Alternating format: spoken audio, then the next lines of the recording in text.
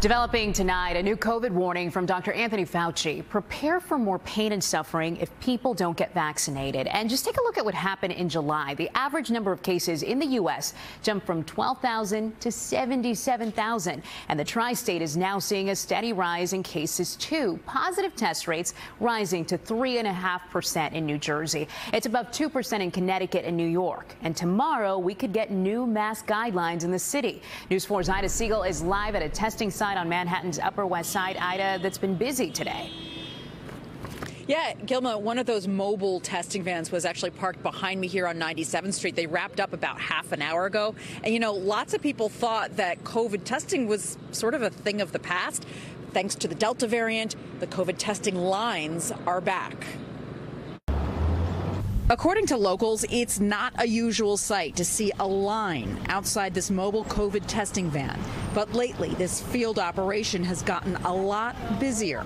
Folks here say the Delta variant has them lining up. I've been vaccinated since February. Um, we saw some family. We just want to be extra cautious. You get tested regularly? Yes, yes, I do. Um, I'm about to travel, so I need to be tested. Public health officials say it's spreading rapidly, primarily among the unvaccinated. Just yesterday, there were more than 76,000 new infections in the U.S., a record high.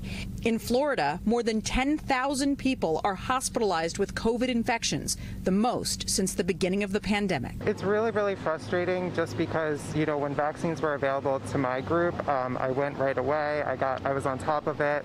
And I just am kind of dumbfounded by, you know, the response from a lot of America. Dr. Fauci on the Sunday morning political shows today warned it will get worse if people don't get vaccinated. We have 100 million people in this country who are eligible to be vaccinated who are not getting vaccinated.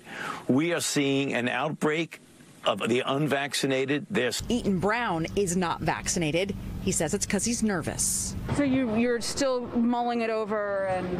Yeah, because there are there are a few um, concerns as to why it's not um, FDA approved as yet, but I'm, I'm getting over that fear. So um, pretty soon I expect to go ahead and get vaccinated. Meanwhile, Mayor De Blasio is expected to announce new mask guidelines tomorrow.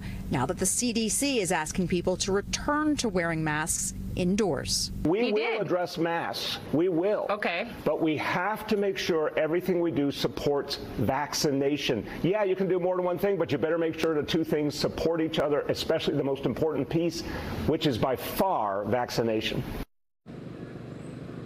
Yeah, the mayor is expected to make that decision about the masking uh, tomorrow. You recall last week he initiated the mandatory vaccines for city workers and also the $100 incentive for people to go ahead and get vaccinated.